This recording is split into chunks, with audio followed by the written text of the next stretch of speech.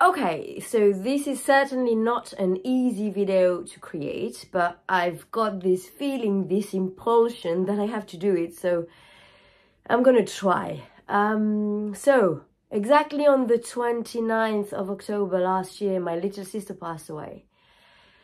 Um, she had an aggressive cancer and um, since the day she's been diagnosed, because that's another story, um, the Swiss uh, medical institutions misdiagnosed my little sister and she's been undiagnosed for a bit more than a year. and um, I'm laughing, but it's not funny. It's like, it's so unfair thinking that in Switzerland you pay so much for your insurance monthly and it's mandatory and they just don't read properly an x-ray and um, she had already a seven centimeter tumor in the lung and they send her home saying it was nothing just take some uh, paracetamol useless people. Anyway that's not the subject. So the purpose of this video is to one acknowledge the people who are living this kind of situation because we are a lot. Yes, there is a lot of suffering, but there is a lot of growth in this. And you can't live this kind of trauma without growing. I was already doing a lot of personal development, but honestly, it's like it propulsed me into level 10. Also, I wanted to share the fact that there is some positive out of this situation. Um, where to start? So, as soon as she's been diagnosed, that was a shit news. But I can tell you, all along, until she passed away, I was sure she was going to heal. I was sure she was, I don't know how, but I was sure she was going to succeed going through this shit.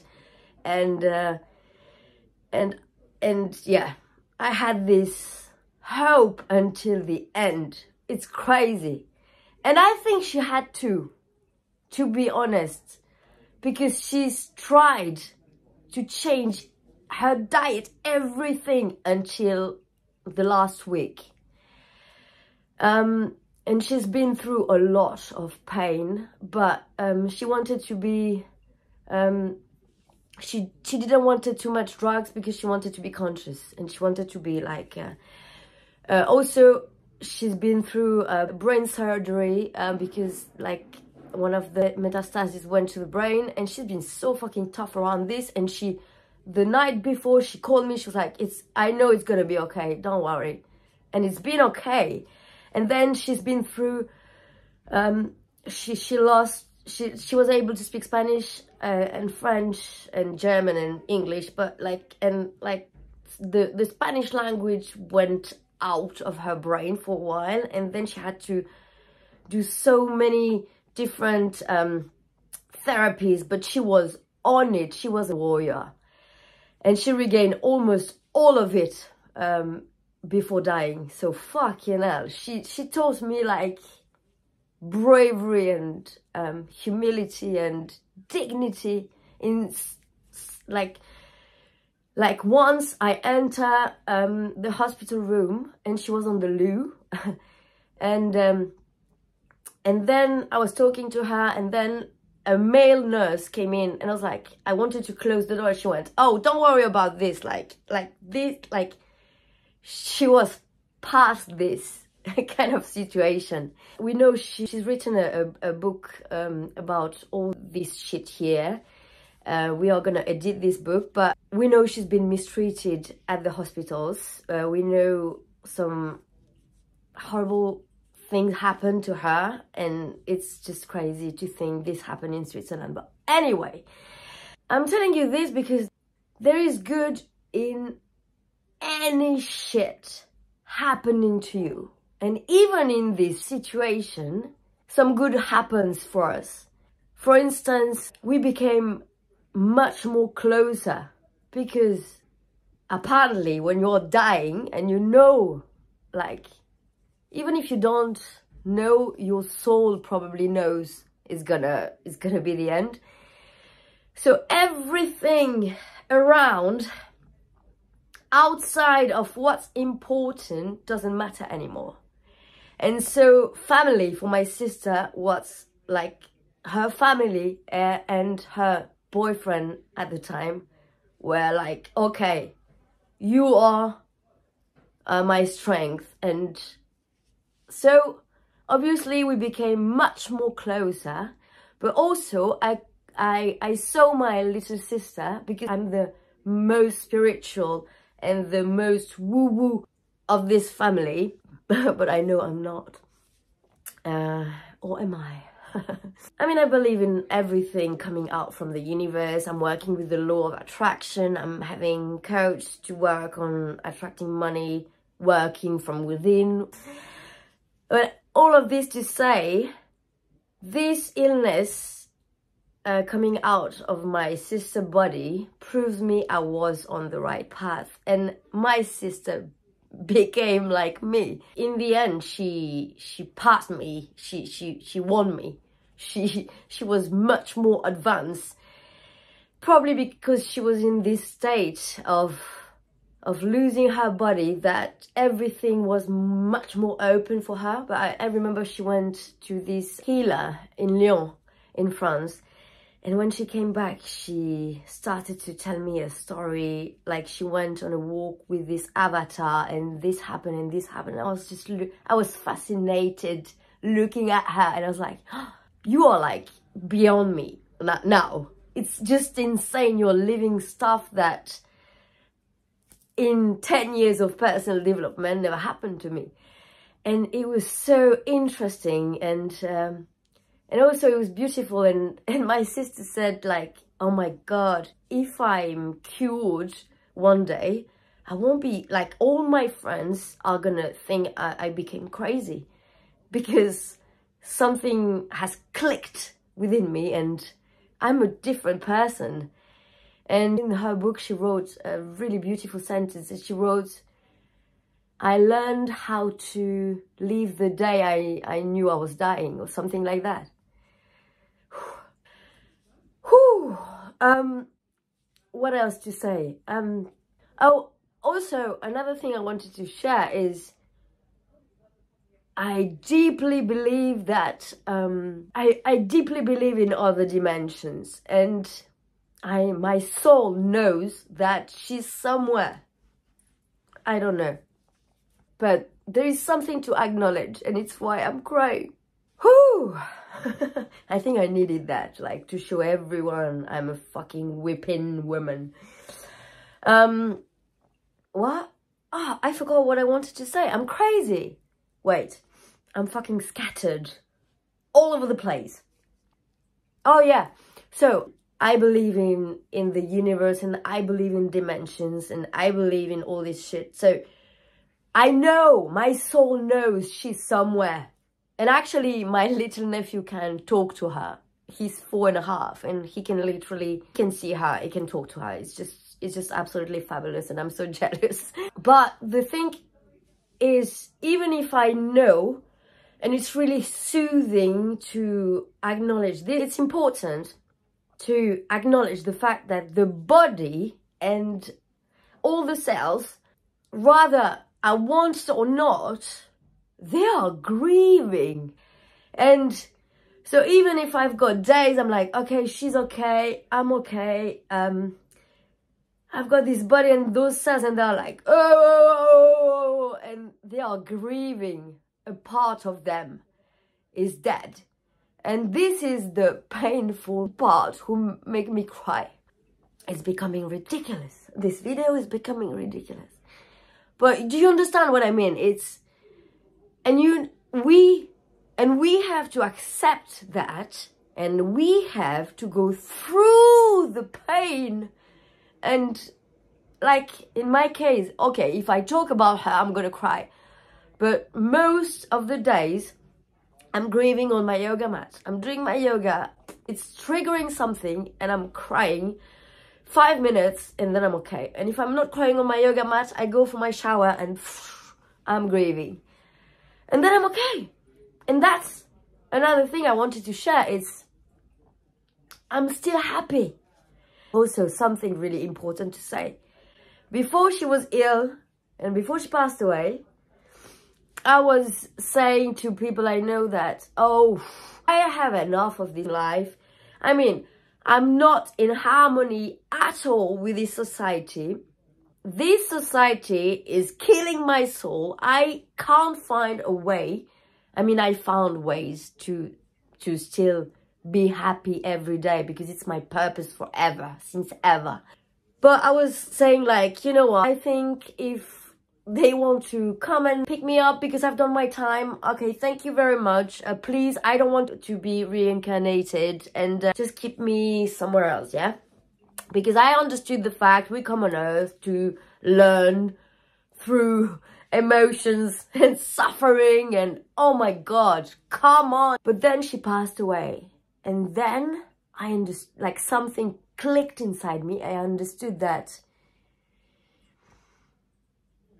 okay, okay. Because obviously I'm not gonna kill myself. I don't think it's the way to go. I, and I, I, I don't think it would be fair for my family. Uh, so I'm not as selfish, but, and uh, yeah, I'm probably too fucking of a coward. anyway, I didn't focus. So, so it clicked inside me and I was like, okay, okay. So you want me to stay on earth you wanted my little sister, she was 39. And, and okay, it was time for her to leave and to let us in suffering. Okay, fair enough. But now I want it all. I'm gonna live through wealth, through even more happiness. Money is freedom. So, okay, I'm gonna travel. Give me all I need to be able to do this like we've got a deal now. So like at the moment i'm working on like like wealth. How to remove all those limited beliefs that i have and that doesn't allow um wealth to come to me uh, and stuff like that. Or there is another part that's like that's like when when you lose someone as close people they don't know how to react with you. So it's really weird. So like for example, when she had just passed away, I had a lot of people asking me like, oh, I'm really sorry for your sister. Yeah, yeah, it's fine because what, yeah, it's fine. It was my answer. No, it's fine. It's fine. Like what? You don't want to start crying in front of those people you don't even like. And um, and you're like, yeah, yeah, yeah, yeah. let's uh, just don't talk about it, please. Uh, but then they were like, second question was like, oh, and um, uh, did you have kids? It's like, oh, oh, because she didn't have any kids, so it's not, it's not really, I mean, it would be more, more, more serious if like she would have been a mom. I mean, uh, you, it's like, oh yeah, so it's not so serious, so I shouldn't cry as much. I mean, she, she hasn't any kid, and uh, those questions are so upsetting. Uh, oh, was she married? Oh, because it's, oh yeah, it would be sadder if she had a full husband. Oh yeah, yeah it's people are reacting in weird ways. So yeah, it's just like when it when this happened to you, um, just like let it go, let it go. So obviously she knew we were going to suffer and she was apologizing for it, which was ridiculous. I mean, come on. Uh, this family kind of situation is really difficult to cope with because we are all grieving in different ways and and it's really sad to see other people of your family being sad. So we all try not to be. And i'm really glad they don't speak english because they are not gonna watch this video. Also okay. Also my dad had cancer in the same time. This is a crazy story. So the doctor said that he had a dormant cancer for ages. The cancer just stopped. But the cat, the my sister's cancer woke up his, and like recently, my dad has been 100% cured. He finished chemo, immuno, everything, and he's been like declared healed. And I know on that day he went on my sister's tomb and he said, "It's I wanted to die instead of you." But this is not how it works. And so, yeah, seeing my dad, my mom, I've got another sister uh, who she was pregnant during all this shit. And believe me it's insane because the baby she's the she's smiling all the time. She's just like she's saving us. Um so yes seeing them so sad it's it's really difficult. And also a last thing i wanted to say is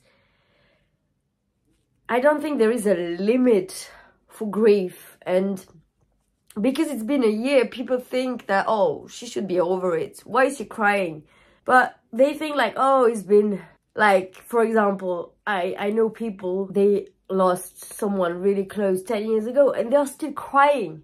And you can't tell them, oh, get a grip. It's been 10 years. I mean, I think it's going to resonate inside us forever. And even in 35 years, something is going to trigger the grieving process. I don't know how to call it, but and we're going to cry. And it's okay if there is something I really want um, to be understood out of this video is even if we are broken-hearted, sad and everything, we must be fucking happy. We must. For them, for, for us. Um, we must be happy because because we are still living and experimenting in the matter. And this, yes, was an experiment. And if we go through this, we are going to learn. I'm learning already so much. And I'm even appreciating more like everything on earth because I know I'm alive and I'm I know now because I'm facing this reality. I lost someone as close because before I, I had lost my grandma, my grandfather, uncles, a friend when I was 16. It never broke my heart as this time because it was my little sister. We know now. Well, like I've learned, like I can die tonight, tomorrow morning, in two days, in two months. I don't know. So the time I'm here on earth, I'm to enjoy it. I'm to be like happy and I'm going to try to get as much money as I can to be able to travel the world, invite my family with me and let's live because life is fucking short. Also, there is something really, really obvious now, but you can't imagine what it is if you never lost someone as close. I thought, especially because I'm an actress, I thought I could like imagine the worst. And like, even during acting, I, I would use some places in my heart and everything, but believe me when I'm telling you. It's the first time I feel my heart broke into pieces. And I would have never imagined. I was talking to people and they were like, oh yeah, I lost my da da da, I lost do do do. And I was like, oh, I'm so sorry. I wasn't even sorry if I if I'm if I'm genuine with myself because I couldn't I couldn't relate. And now I can. And it's shit, but it's yeah, only people who've experimented this like can really relate. But also, maybe as a last thing, I didn't wanted to create a video about it really, but I felt this urge, like I had to do it for some reason. Uh, but also now I'm doing it. I went for a picture of my sister because I was like, you know what? This is my way to to put a mark in the internet of her that this girl, this beautiful Lizanne Gobet, uh, she was on earth and uh, she was a fucking beautiful soul. So I love you guys. I send you all my love. I, I would love to generate a community of people that um, relate to this subject and if it happened to you please comment below please leave a comment and tell me how you feel now and and maybe give me some advice um, do you have what have you done to go through this shit and, and when did it happen to you and how did you manage and I don't know just let's share some piece of advice to help each other because I really think it's important. Um, also share, like, I mean, you know the drill and uh, subscribe, please. I love you guys and uh, take care.